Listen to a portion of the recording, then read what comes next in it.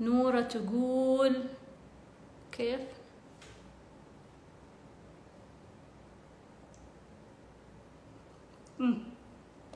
حلو السؤال. تقول كيف نتأقلم مع رفع مستوى الدهشة بسبب ال social media؟ صحيح. يعني ال social media ترفع ترفع ترفع ترفع مستوى الدهشة لدرجة إنك يعني يعني مرات كل يوم تندهش تندهش, تندهش لدرجة إنه أوكي. يورونك ال- ال- السيارة اللي ب ألف بعدين السيارة اللي ب ألف بعدين السيارة اللي 300 بعدين السيارة اللي ويتنافسون في إدهاشك. طيب بالتالي أنت تقول لا خليني أتابع هذا لا خليني أتابع هذا أكثر إدهاش. لا لا, لا هذا بيدهشني أكثر لا لا, لا هذا بيدهشني أكثر. فيصير عندك نوع اللي نسميها حالة من حالات الإدمان. إنك أنت بعدين تقفل ال social media تقول دور كذا ولا ما عندك ولا واحدة من السيارات. ولا واحدة من السيارات هذه بتحس إن الحياة بايخة الحياة سخيفة الحياة مملة الحياة ما لها نكهة الحياة ما لها طعم كذا تقول لا خلني أرجع ال social media وأشوف الفراري الحمراء وأشوف البورش وأشوف القصص هذه كلها. خلهم يدهشوني خلهم يأخذوني ويدهشوني. فتصير حالة من حالات الإدمان اللي تسوي لك يعني زي ما نقول تفصلك عن الواقع وعن الحقيقة وتصير ما عاد تميز يعني وعدم التمييز يخليك ترفض الواقع يخليك تقول لا لا هذا الواقع لا لا مو هذا الواقع. الواقع اللي في السوشيال ميديا مو الواقع اللي أنا أعيشه. هذه مشكلة هذه مشكلة.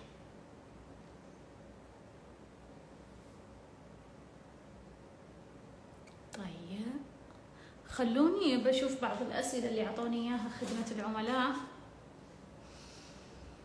طيب في صديقتي كانت تسأل هل الجسد المشاعري يستوعب أكثر من قفزة؟ آه، الجسد المشاعري قفزاته لا تنتهي لا تنتهي ذلك ال- والمشاعر لا نهائية المشاعر لا نهائية في هذه التجربة لذلك نعم يستوعب كثير آه، برضو سؤال من صديقتي تقول أريد أجرب مشاعر جديدة وأريد أطور مشاعري من غير صدمة إيش أسوي؟ تجربة مشاعر جديدة يعني تعلم. يعني إنك أنت لازم تتعلمين شعور جديد. لازم إنه أنت تتعلمين. خصوصا إنه إحنا عندنا ضعف في آه، تعلم المشاعر في تداول المشاعر اجتماعيا أقصد. وحتى في ال- في المدارس وفي ال- السلك التعليمي ما فيه ما في اهتمام بتعلم المشاعر والمشاعر مش متداولة. مش متداولة اجتماعيا مش متداولة في التعليم. لذلك إحنا إحنا بيبيهات في المشاعر. إحنا أطفال في المشاعر. إحنا كثير أطفال في المشاعر. أغلب الناس هم أطفال في المشاعر. حتى لو كان عندهم إدراك فكري ها حتى لو كان عندهم وعي فكري لا يكونون أطفال في المشاعر. لما تدور تقول كم عندهم من شعور إيجابي؟ تلقى عندهم اثنين ثلاثة. أو واو. بس بس هذه المشاعر اللي في جيبك اللي أنت شاطر فيها اللي أنت تقدر تديرها. بس اثنين ثلاثة هذه هي المشاعر اللي أنت تقدر تستخدمها. لكن إذا تبغى تطور آه، شعور جديد لابد إنك تتعلم هذا الشعور. مثل الطفل. تعلم. واحد اثنين ثلاثة. صديقتي تقول خلينا نقول أعقد شعور عندي هو التوتر. وش الشعور اللي عالجه عشان أطوره الحب أو الهدوء؟ آه د- يعني معطيتك خيارات طيب.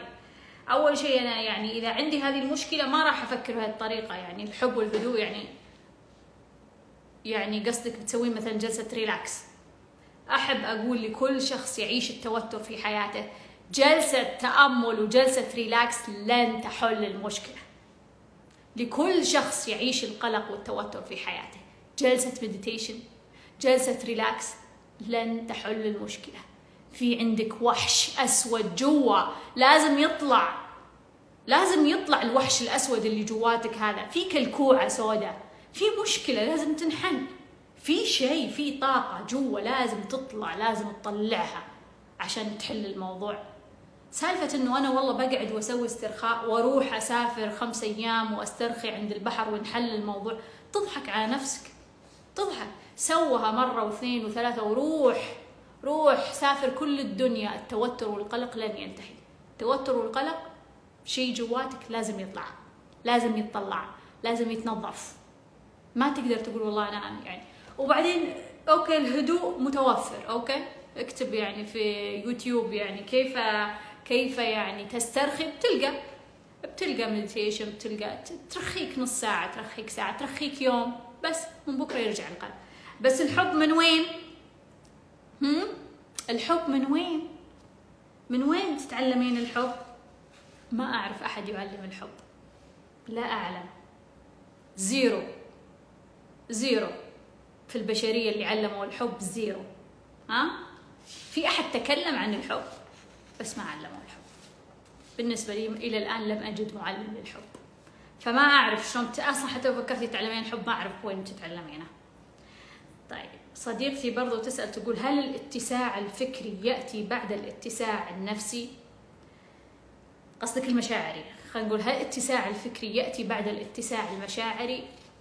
آه الاتساع المشاعري يعطي سعة للجسد الفكري. يعني كل ما تطور الشخص مشاعريا كل ما تطورت أفكاره تطورت معتقداته آه لكن من الممكن إنه نلقى آه خلنا نقول بعض بعض التغيرات اللي يبدأ يشعر فيها الشخص إنه جسد الفكري مو زي أول.